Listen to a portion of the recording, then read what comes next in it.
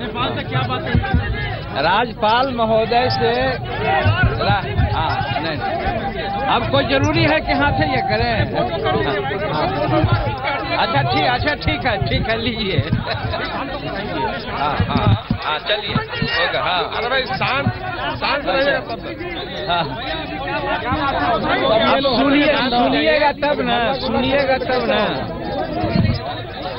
आप लोग फ़ोटो खींच के हट जाइए। हटिए ना भाई आने दीजिए। आप पचास बार हाथ यार क्या ना चाहते हो। हो सामने से हटिए सामने से हटाइए। नहीं सामने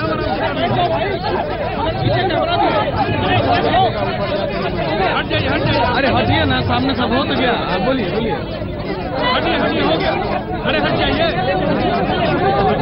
यही यही लोग हल्ला सब जगह यही हल्ला। शांत यही यही स्थिति है। सम्राट है। सम्राट फोटोग्राफर भाई। ए फोटोग्राफर भाई शांत रहिए।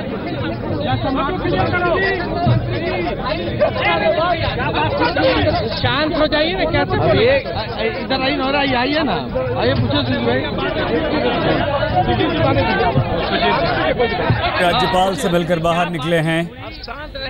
हो है हो सुबह दिल्ली से 12 बजे पहुँचे थे। महोदय से हमने समय मांगा था। समय हमें मिला।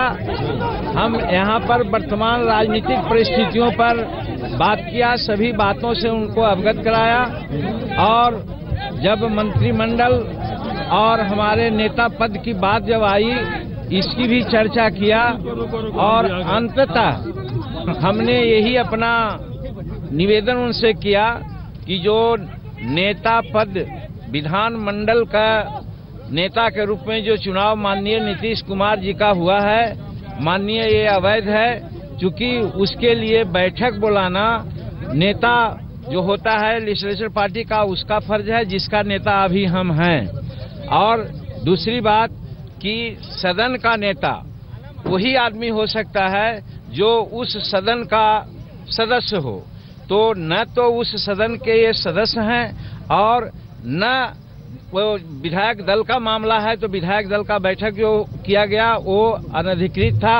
उसके लिए कोर्ट में भी लोग गए हैं और ये हम इनको समझाया और कहा कि, सर, आप तो खुद रह चुके हैं, स्पीकर, आप समझ सकते हैं इस बात को। तो सारी बात को उन्होंने बहुत गौरपूर्वक सुनने का की कृपा की और कहा कि हम उचित निर्णय लेंगे। रही बात कि जिस शक्ति परीक्षण या जिस बहुमत साबित करने की बात उन लोग कर रहे हैं, हम कहाँ उससे भाग रहे हैं? हम तो सिर्फ़ कह रहे हैं कि चूँकि हम लेजिस्लेचर पार्टी और विधायक दल की बैठक ऑलरेडी बुला चुके हैं बजट सेशन हम बुला चुके हैं तो वैसी परिस्थिति में हम उन्नीस को, बीस को या तेईस को हम अपना बहुमत साबित करना चाहेंगे। माननीय महामहिम ने कहा कि हमारे सामने जब उन लोगों ने पेश किया है तो उन लोग कहते हैं कि 24 घंटा में कीजिए 48 घंटा में कीजिए। हमने उनसे कहा कि आपके विवेक पर है, हुजूर। सबसे पहले है कि वो नेता तो चुने गए वो गलत नेता चुने गए हैं, असंवैधानिक है। जब असंवैधानिक नेता चुन करके अगर उनको क्लेम किया जाता है तो इस पर आपका अपना विवेक से काम लेना है। और जहाँ तक जिस दिन आप कह दीजिए, अब हम आपके ऊपर छोड़ देते हैं कि कब आप हमारी शक्ति परीक्षण की बात कहते हैं या बहुमत साबित करने की बात कहते हैं आप हमको यही खाली बता दीजिए और हम यही कहना चाहते हैं कि सेक्रेट बैलेट से वोटिंग हो। और वोटिंग जिस समय हो उस समय गिनती जिस समय हो उस समय दोनों दल के एक एक पर्यवेक्षक वहाँ पर रहेंगे और वहाँ पर जो फैसला हो जाएगा उसको हम मान्य करेंगे। तिथि का निर्धारण माननीय महामहिम राज्यपाल करेंगे। यही बात चौबीस चौबीस से अड़तालीस घंटे में भी तैयार है आप।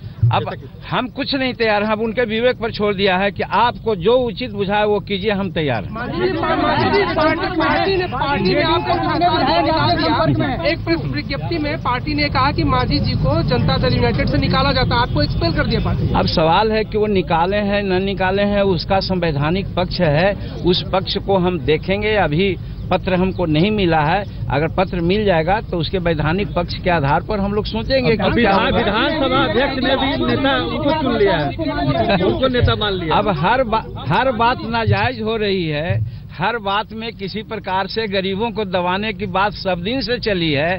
तो यहाँ भी एक साजिश चल रही है। उस साजिश का शिकार हमको बनाया जा रहा है। लेकिन कानून है ना। अब सब तरह की बात है। कानून के आधार पर सारा काम होगा। कितने विधायक साथ हैं मांझी जी? कितने जेडीयू के विधायक आपके साथ हैं? हाँ क्यों क्यों नहीं? गुट में बहुत से ऐसे लोग हैं कि अपना चेहरा नहीं दिखलाना चाहता आपके डर से। हाँ, क्योंकि क्योंकि क्योंकि क्योंकि उनके उनके नज़दीक में बहुत महाबली लोग हैं। कितने हाँ, विधायक संपर्क में हैं? ये सब हम नहीं बताएँगे कितने संपर्क में अब जो भी है कल भी हमने दिल्ली में कहा कि नौवार एक सिर में कितना बाल तो हुजूर सामने आता है। नीतीश कुमार के साथ एक बड़ा हुजूम दिखाई दिया। आपके पास यहाँ सिर्फ़ पाँच विधायक पांडव है। एक चीज़ आपको भी कहना है। एक चीज़ बोलिए बोलिए बोलिए बोलिए मंत्री नीतीश कुमार होंगे या नहीं अभी ये तय नहीं क्योंकि जीतन राम मांझी ने कहा है कि हम शक्ति परीक्षण के लिए तैयार हैं।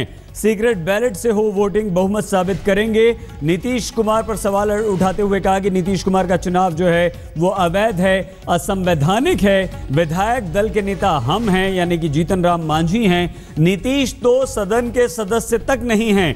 हम अदालत भी गए हैं। अध्यक्ष की लोकसभा विधानसभा अध्यक्ष की शिकायत भी जीतन राम मांझी ने राज्यपाल से की है। और ये कहा है कि यहाँ पर हर बात नाजायज हो रही है। हमारे खिलाफ साजिश हो रही है। बहुत से विधायक ऐसे हैं जो गुप्त मतदान करना चाहते हैं। यानी कि अपनी बात सामने रख दी है। चुना, यहाँ पर शक्ति परीक्षण के लिए पूरी तरह से तैयार हैं जीतन राम मांझी और कहा है कि हालाँकि विधायकों की तादाद तो उन्होंने नहीं बताई, संख्या तो अभी नहीं बताई है। लेकिन ये ज़रूर कहा है कि हाँ मैं अपना बहुमत सिद्ध करने के लिए पूरी तरह से तैयार हूँ, लेकिन जब भी मतदान हो, वो सीक्रेट बैलेट से हो। और नीतीश कुमार पर सवाल उठाते हुए कहा है कि नीतीश कुमार इस सदन के सदस्य नहीं हैं और उनका विधायक दल के नेता के तौर पर जो चुनाव हुआ है, वो असंवैधानिक है, अवैध है। एक बड़ी चुनौती नीतीश कुमार को दे दी है। जीतन राम मांझी ने आप बने रहिए हमारे साथ, हम होते हैं बस कुछ ही देर में हाजिर।